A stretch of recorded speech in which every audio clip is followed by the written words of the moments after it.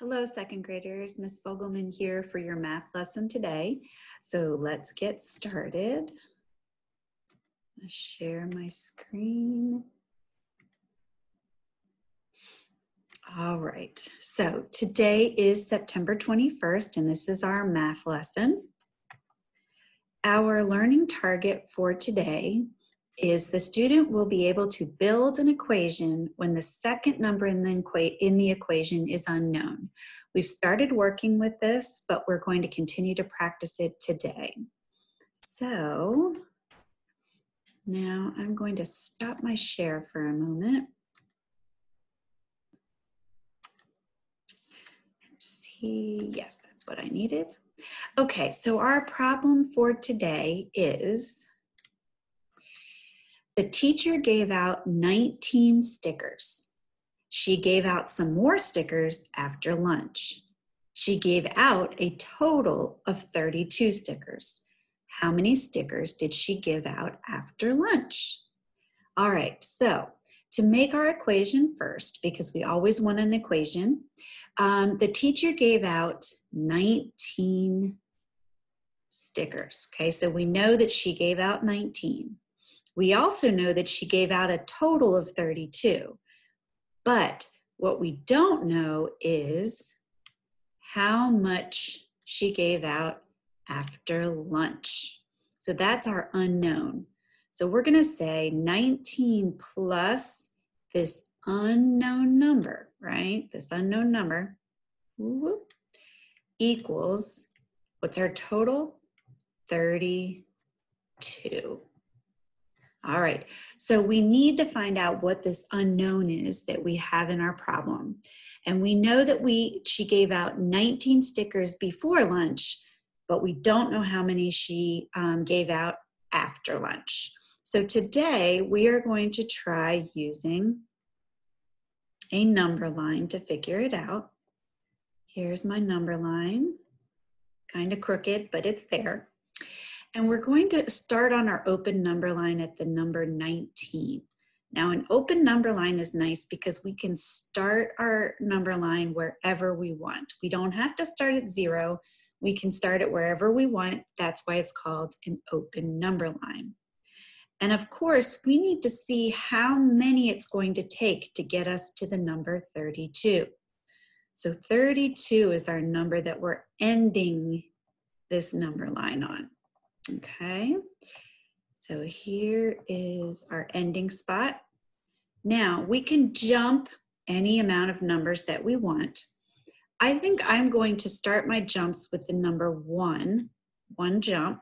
Now remember, when you do this jump, you have to show how much you've jumped over top of the jump that you draw. Now 19 plus one, we know is 20. And the reason I'm doing that is because um, that gets me to a multiple of 10 or a tens, which is going to be so much easier to count by. Now, if I count by 10, if I make a big jump and go to, and I add 10, okay, you may even want to put an add addition symbol to show that you're adding these numbers to it. 20 plus 10 is 30, so I have to put this here. Now don't forget, you must put the numbers, the number you jumped to underneath, because if you just start making random jumps without counting underneath, you'll have no idea where you are on the number line. Now, I jumped one because I wanted to get from 19 to 20. Then I jumped a big one, 10, because I knew 10 plus 20 is 30. I still haven't made it to the number 32 yet. So I need to jump how many more to get to the number two?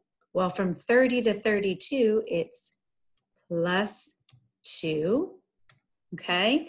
And that gets me to the number 32. So you say, how do we figure out this number that goes here? Well, I take the 10 and add two, that's 12. Then I add 12 and add 1, and that is 13. So 19 plus 13 equals 32. Okay? So we were counting up from 19 to 32 because we knew we had 19. We had to get to the number 32 to figure out what I have to add to 19 to get 32. All right. So let's stop our share again so that Ms. Fogleman can get back to the slideshow. All right. Now, hopefully, up oh, here it is. All right, in closure, if we were given the total number of stickers and how many were left, how would that change our equation? So if we had been given, Miss Fogleman didn't click on her pen before she let it go. All right, so if we were, had been given 32, okay, and we knew we had 32 stickers, and we were given the number we have left, which let's say it's 19, what would be the difference here in our equation than the other one? Well, we'd no longer be adding, okay? So let me clear this off and do 32, oops, Fogleman.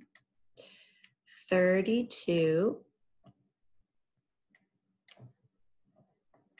and equals 19. So we would then have to figure out using subtraction, right? So if our problem said we had 32 stickers, um, we ended up with 19 at the end of the day. How many stickers did we give out? Then we would have to do subtraction. 32 minus some number equals 19 okay? And then our um, number line will look a little different. So we'll be talking about that down the line, but I just wanted to kind of give you a little bit of information now so you could be thinking about it.